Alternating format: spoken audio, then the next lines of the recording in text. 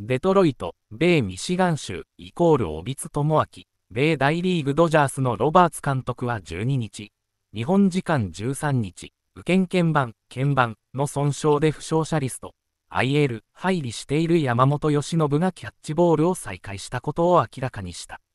すでに2度行い、距離は60フィート、約18メートル、だったといい、痛みもなく、いい状態だと語った。山本は6月15日のロイヤルズ戦に先発したが、右上腕の張りを訴えて2回で降板。16日に IL 入りした。